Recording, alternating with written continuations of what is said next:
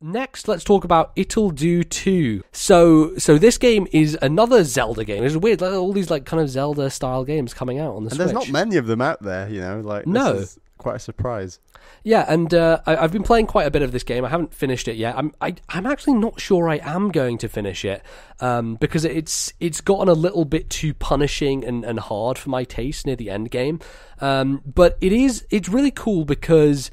I haven't felt that a kind of top-down Zelda-style game has played this fluidly since Link Between Worlds. And I think that's probably because the 60 frames per second uh, helps a, a huge amount. Like on the Switch screen, it looks absolutely gorgeous, like really sharp, um, very very vibrant, and there are even kind of portraits for the characters when they're doing dialogue stuff that pops up, and that is like very kind of crayony, very.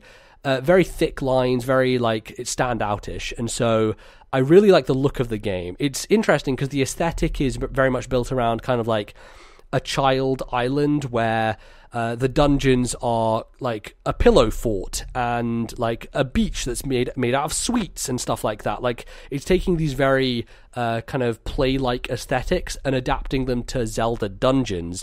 Uh, and so like that even extends to when you get pieces of heart. They're not pieces of heart; they're called crayons because you like kind of color in the extra piece of heart on the top of the screen, which is a really neat touch. And like every time they get added, they like get colored in at the top. Um, and one of those things that I like is that instead of collecting four pieces and then getting a full heart, you just get a quarter at a time. So every time you get a thing, you actually like benefit from it. You get an extra quarter of a heart, which is really neat. Um, I think that's something that Zelda could maybe do in the future to to improve sometimes the grind. Like Twilight Princess, especially with five heart pieces every time you have to get one, uh, gets a little bit tedious. Um, but but there's a lot of cool things in this game that it does to kind of smooth out the process of the Zelda experience. Um, every time you're before a boss, there's kind of a save point where you refill your entire health. Uh, every time that you are in a dungeon and you've activated or opened a door, it just instantly stays open, even if you die straight after. Like it, stays, it saves that state essentially. And so it's very fluid to kind of run through these areas. And I was really breezing my way through the game for the first four dungeons or so, and really loving it, like really enjoying myself, just having a fun time.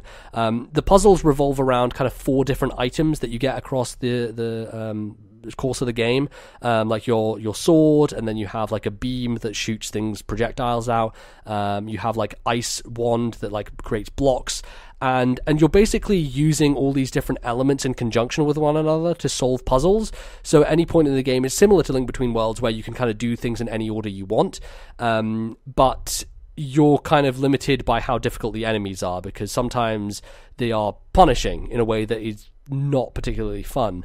Um, I think that's kind of where the game falls down. Is eventually after because I was really like enjoying the pace of it and it was going well, and then these last couple of dungeons, I've just been like, man, like they really pile on enemies. They really cut down your health. Your health disappears in an instant. It's really difficult to kind of dodge out the way. I think the dodge move is a little bit laggy in terms of when you dodge, you have invincibility frames, so you can avoid some stuff, but also it's you can't repeat it very quickly after you've done it, so you get stuck in situations where you're getting hit a lot. Similar to Yono, actually, where you when you take damage, there's not a lot of invincibility frames, and so you can kind of get pounded into the ground really fast. Um, and so later on, that really becomes a problem.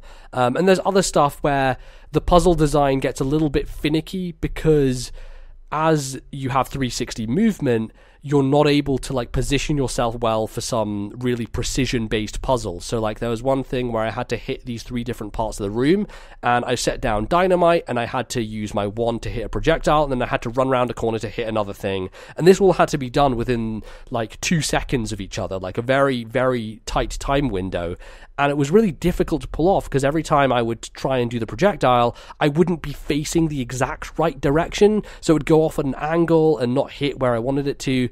Um, and it, you can control it with the D-pad, but the, it feels much more fluid when you're using the analog stick. So it was a bit of a weird compromise going on there. Um, and the map is a little bit difficult to read. Like you, when you zoom in on it, it doesn't really give you full movement. It's just zoom in, zoom out, and sometimes you can't see where you need to go. So there are definitely issues and problems. Uh, but I have really enjoyed it so far, and the difficulty spikes are something that's going to vary from person to person. Maybe it's because I'm mainlining and I'm not going going out of my way to get hearts and get things like upgrades, which will help me out. Um, but uh, I think it's it's cool, uh, and it's definitely it feels great when you're just running around. As the Beast Cars say, the running around in this game is real good. It's just good running around, um, and you know that it, it looks fantastic. Uh, so I think that that's one that your mileage will probably vary on whether you are as um, kind of put off by that difficulty stuff as I am. But if it's something that you're into, I think that this is definitely this is kind of the contrast to Yono, where Yono is like the more um, like fun run through, not have much trouble, whereas this is the more hardcore, like really tough bosses, like learning patterns style of thing. Right. Um, so depending on what person you are, you might like one over the other, um, and I think they're both they both have good things about them. So it's it's worth checking them both out at some point. Nice.